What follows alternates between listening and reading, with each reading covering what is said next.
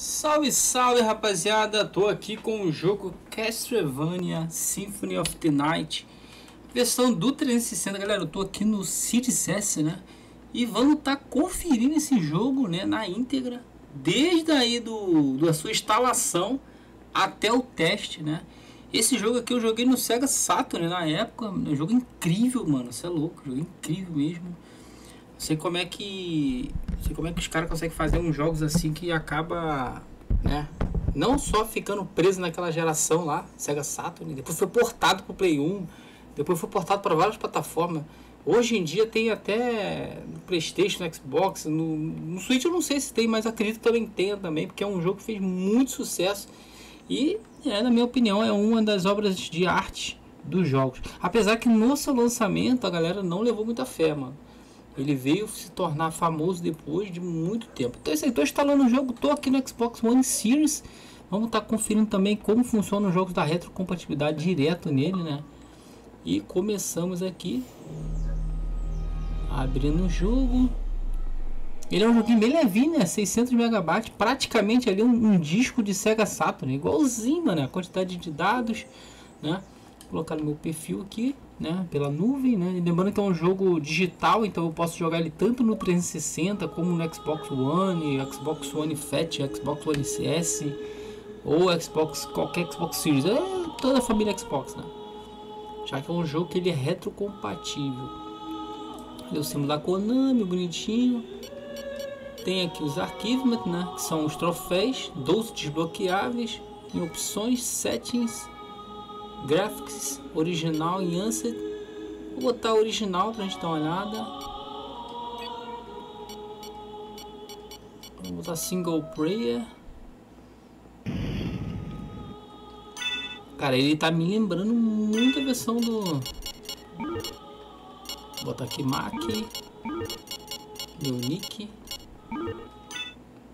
Vamos ver como é que tá funcionando.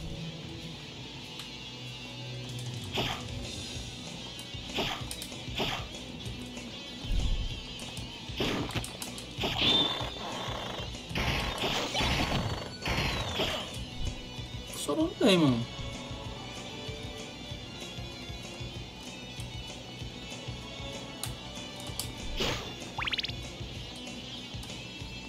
A velocidade está boa. Não se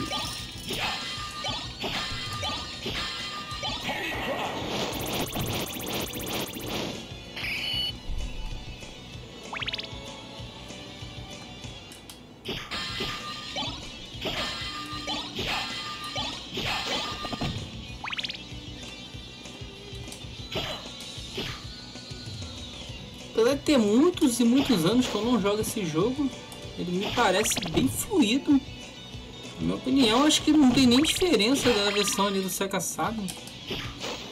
Certo? Deixa eu entrar em opções aqui, opções, settings, volume, screen. Ah, dá pra abrir a tela, olha que interessante, velho. Vou botar no formato que você quiser. Deixa eu botar ultra wide pra ver.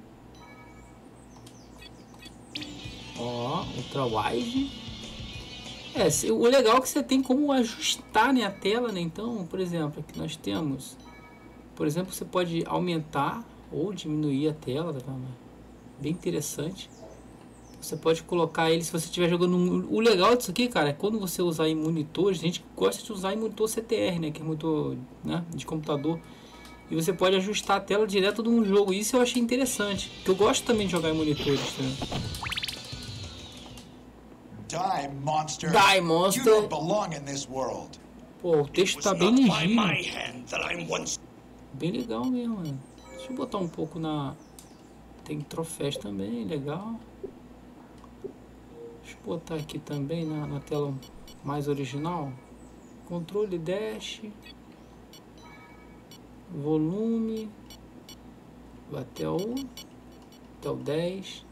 Legal, você pode controlar também o volume, pode melhorar ou deixar original. Deixa eu colocar aqui no, nesse formato aqui, que é o que eu gosto de jogar os clássicos. Jogar nesse formato aqui. Legal que fica ali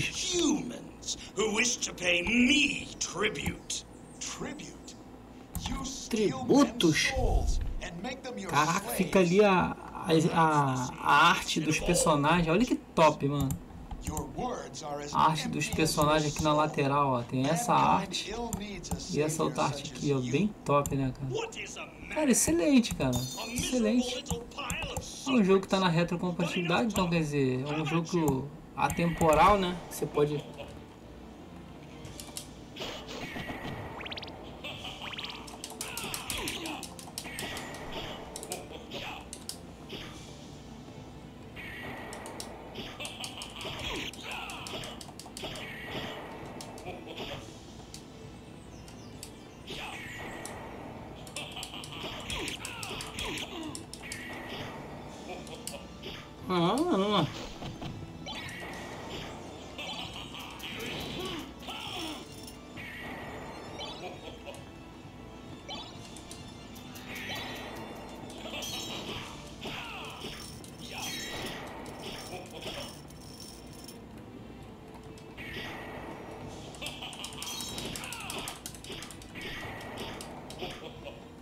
É, é legal, hein? Claro que você pode a qualquer momento, rapaziada, ajustar a tela, o que eu achei bem legal. Né? Então ele vai agradar os os jogadores que gostam de jogar em monitores CTR ou os jogadores que gostam de jogar em televisão, né? Ou televisão mais modernas. Então eu acho que fica aí o critério de cada um, né? Eles poderiam estar trazendo mais jogos clássicos aí para a gente estar aproveitando também né? Videogame mais moderno, né? Eu vi que também tem no Playstation também, rapaziada. Então. Certo, ele tá, tá curtindo tanto no Xbox como no Playstation esse jogo. Que é um jogo excelente.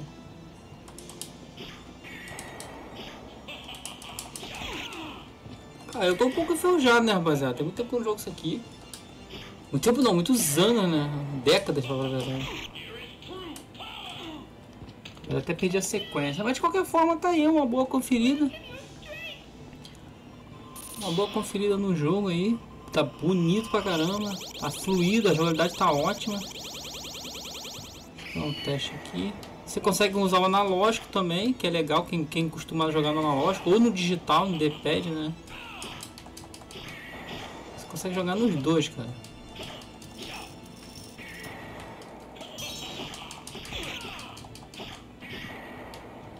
Tanto no, ó, dá pra correr no analógico também, fica fácil.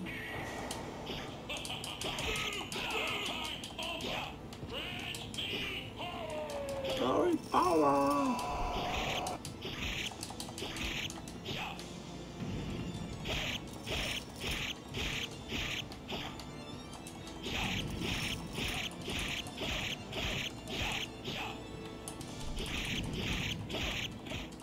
Cara, o jogo tá bonito, velho.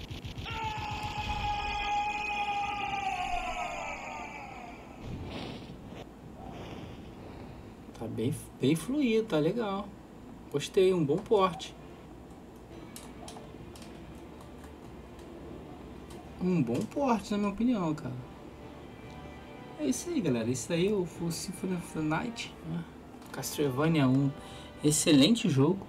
E quem é fã de franquias como Castlevania, rapaziada, eu fiz um vídeo lá no meu Kawaii, no meu TikTok, mostrando aonde tem.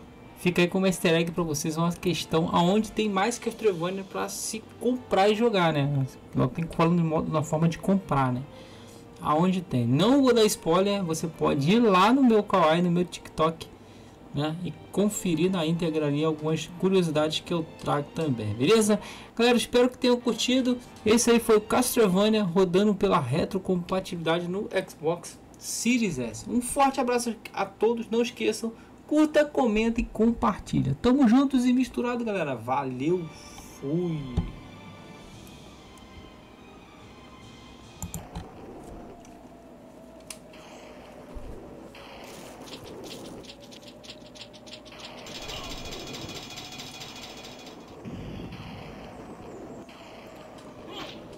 A observação que eu tô que eu tenho a dar no jogo aqui, rapaziada, é que essa versão aqui ela parece que trabalhou no porte do PS1, né?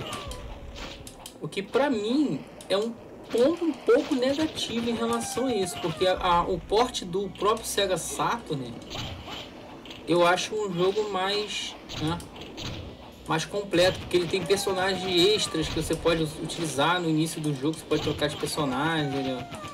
Claro, isso não vai estragar a experiência do quem quer jogar né, com o próprio personagem, mas de qualquer forma, só mais uma observação. Agora, de resto, galera, você tem um jogo lindo, rodando liso, certo? Com várias opções para você estar jogando aí e se divertindo aí no seu, no seu Xbox Series, beleza? Vou botar em Instant, vai dar nada. Ah, ele dá um filtro. Ele dá um filtro, mas esse filtro ele, ele meio que dá uma.